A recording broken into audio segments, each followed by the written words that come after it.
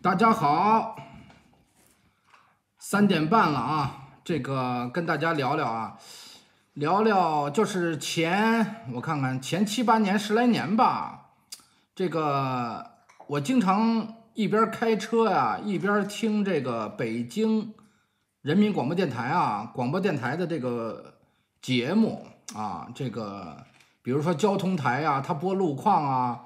还有好像是交通台还是另一个叫旅游台嘛，我不知道有没有这频道啊，反正有这个旅游这个节目是肯定的。嗯，这个旅游这节目呢，我就经常听，然后呢，他也请一些人来聊在全国各地甚至全世界各地的旅游见闻。大家也知道我这人啊，我这人比较爱搭鼓，完了也爱表现啊。也挺嘚瑟的啊，也挺那个那个高调的啊。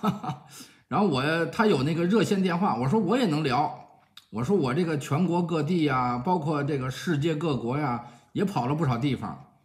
然后呢，他们就说那行啊，您来聊聊吧。我记得我第一次聊的去新疆的事儿，我说我在这个布尔津县城啊，然后这个这个坐了一个出租车呀。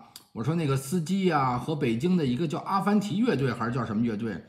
我说那个人是他表哥呀，他们都是哈萨克人呀。我说我又从那个布尔津县城又到那个到那个禾木喀纳斯蒙古族乡。我说我坐了当地人的那个车，当地人那个从县城回村里的车。我说我不跟游客在一块儿。然后我说我认识了一个高中生叫伊斯穆拉提。我说我去他家住了，他家不是客栈，不是旅馆。然后那个我说我给他点钱在他家住。我说如何如何的好玩什么的，后来我又聊去东北、去内蒙，然后包括去广西桂林，还有去韩国啊，还有去台湾。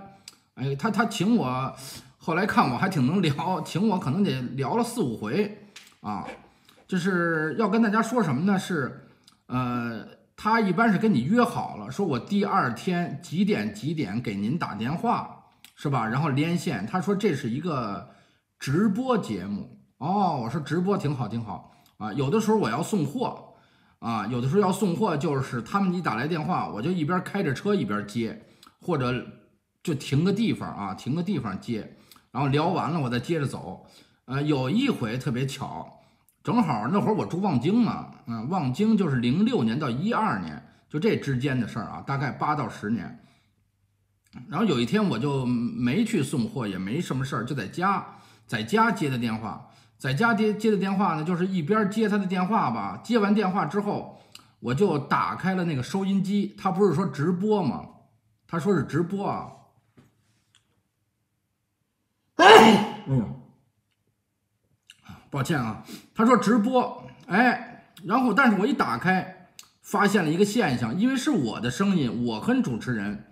他延迟了大概一分钟，延迟了一分钟，所以我就知道这个直播是假的。那么北京这个关于旅游的广播电台这么一个旅游节目，它都延迟，他说是直播，都不是真的直播，大概延迟一分钟。那么其他的电视上的什么阅兵式啊，什么各种的春晚呀，各种的重大活动的那个直播，可能都有延迟。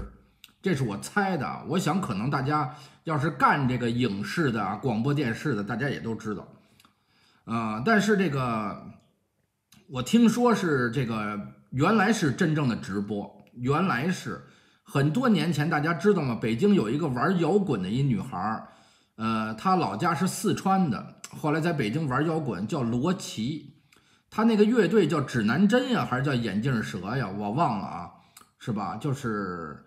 好像叫指南针吧，那个眼镜蛇是叫魏华的，好像这个女孩罗琦，很多人都知道。这个后来被他的一个粉丝吧，也不一定是粉丝，就是在一个酒吧，在一个场合，他演出的时候，突然有一个男的上来把他一只眼睛扎瞎了，是吧？后来这女孩呢就离开北京去德国了，后来找了一个德国老公啊，最近这几年又回中国了。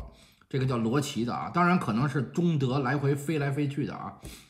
这个女孩呢，就是前些年她就做直播，做直播呢，那会儿应该是真的直播，没有我刚才说那个延迟一分钟的。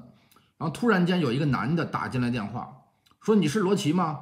啊，他说我是啊，说你他妈就是一个鸡，说你就是一个婊子，然后就把他大骂了一顿啊。当然摇滚圈是比较乱啊，这个，嗯，你像那个窦唯啊，窦唯我们的同学跟他就住街坊，就俩俩门挨着两个院，然后听说就是天天换女朋友啊。后来不就跟那个什么王菲结婚了吗？也没太长，是吧？然后窦唯的有个妹妹吧，是他妹妹还是堂妹啊？叫窦颖啊，窦颖现在就住东四六条吧，那儿有一个民航局的一个宿舍，就跟我的一个小兄弟儿，跟我一哥们儿就同一栋楼上住啊。然后有的时候半夜了点外卖，然后这豆影有时候就摁错了，就摁到我们那哥们儿家去了啊。这个所以他们比较乱，是吧？嗯，然后这个罗琦吧，也可以想象，他们有时候还抽点大麻，吸点毒，是吧？那个为了有灵感，为了演出的时候有激情，是吧？就那会儿还没有摇头丸，比较早，可能二十年前，听说是后来就改成这种叫什么，就改成这个延迟的了。所以我说，就是中国的这个广播呀、电视啊，有的时候啊，电视直播啊，这个春晚直播都有延迟，大概一分钟。怕有人出一些差错啊！当年苏联侵略阿富汗的时候，苏联这方面就比中国差，中国的控制力就比较的强，这个基本上是无缝对接啊，零距离，严丝合缝。苏联时期，莫斯科广播电台好像是英语还是俄语广播呀，就有一个播音员，他本来就是苏联的播音员，苏联体制内的人。就相当于咱们的罗京、张宏民，这个白岩松，就相当于这么一个职务，或者是海峡赵忠祥、邢志斌，然后他就在那个广播电台上就大骂苏联侵略阿富汗，结果苏联还真是挺面瓜的哈。如果从社会控制上，呃，第一次、第二次可能都没发现，说了两三回之后才发现的，是这么一个情况。刚才就是啊。溜达溜达，突然间想起这件事儿了。再不说，我可能忘了，差不多有十年前的事儿了。好吧，朋友们，谢谢啊，谢谢你们给侃爷啊捧场，谢谢。